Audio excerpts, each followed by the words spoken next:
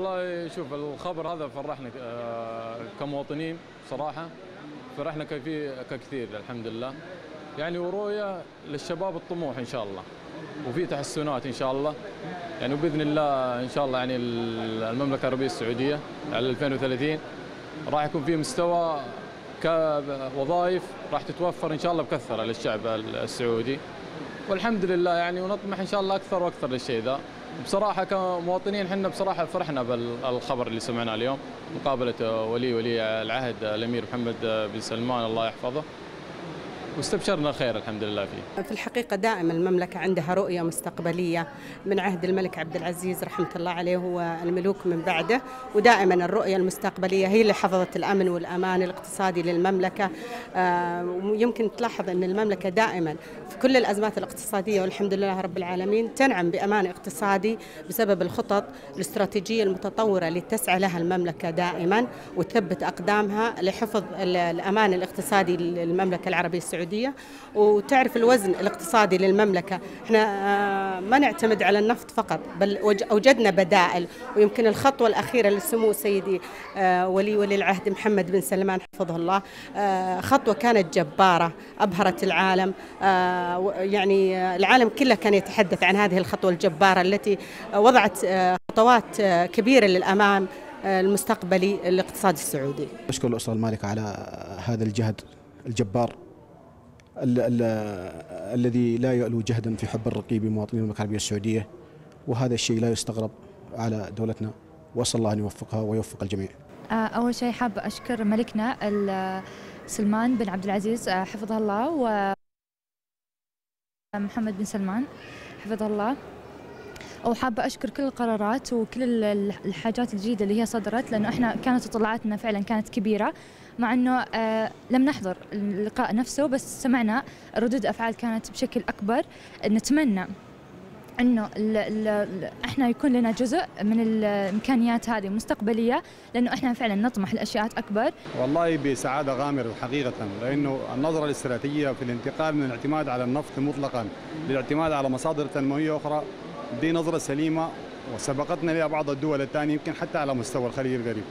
ودي يعني الواحد يحيي فيها قيادة الدولة ويحتاج وصناعة القرار فيها في إنه الناس تنتقل إلى البحث عن بدائل تنموية أخرى عشان ما تكون عرضة لتنازع الأسعار صعودا وهبوطا وتراجع الاقتصاد كل ما هبط السعر بتاع النفط.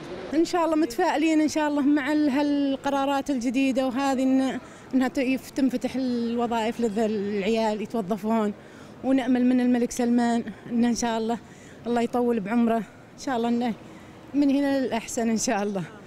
بالنسبة للاستقبال يعني للرؤية والأشياء هذه كلها اللي صارت اليوم كمواطن سعودي الصراحه أنا مرحب بالأشياء هذه كلها. إن شاء الله توجه المملكة إن شاء الله إن شاء الله في المستقبل القريب توجه إن شاء الله إيجابي.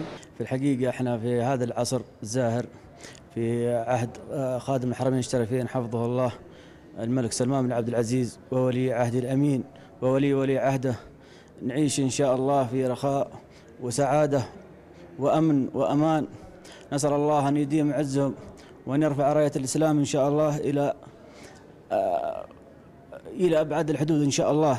أشكر ولي ولي ولي العهد الامير محمد بن سلمان على هذه البادرة الأكثر من رائعة. حتى ينهض الشعب وشبابنا بدلا من البطالة والاعتماد على النفط كدولة مصدرة باعتبار أننا أغنى دولة يطمحون إلى المزيد من الوظائف الحكومية والرواتب. فهذه البادرة تجعل العديد من الشباب ينهضون إلى الاستثمار إلى المشاريع الخاصة بهم. والله إن شاء الله تكون التحول للافضل ونتمنى إن شاء الله من القيادة الحكيمة إنه يكون في يعني التحول يكون للأفضل إن شاء الله. وإيجاد فرص وايجاد فرص للمواطنين فرص أفضل للمواطنين إن شاء الله يكون يعني الحال إلى أحسن ونتمنى الخير للبلد يعني. آه نتوجه الله بالدعاء إن الله يوفق خادم الحرمين الشريفين ولي عهده والنائب الثاني. والحقيقة يعني آه رؤيتي للموضوع اولا إحنا لازم نرجع للبدايات. إحنا يعني بداياتنا الحمد لله بدايات آه، عظيمة. يعني آه، تأسست البلاد هذه مش بالصدفة جت. واستحققنا استحقاقاتنا آه، بعمل عظيم قام به المؤسس جلالة الملك عبد العزيز رحمه الله. في الحقيقة أسس للبلد تأسيس آه، عظيم في النظام الأساسي للحكم. وضع لنا استراتيجية كبيرة آه، فرض احترام العالم لنا. المسيرة بعد حياته العامرة بالخير رحمه الله أتى بعده أبناء ساروا على نفس الخطى واستثمروا المواقف واستثمروا الأحداث.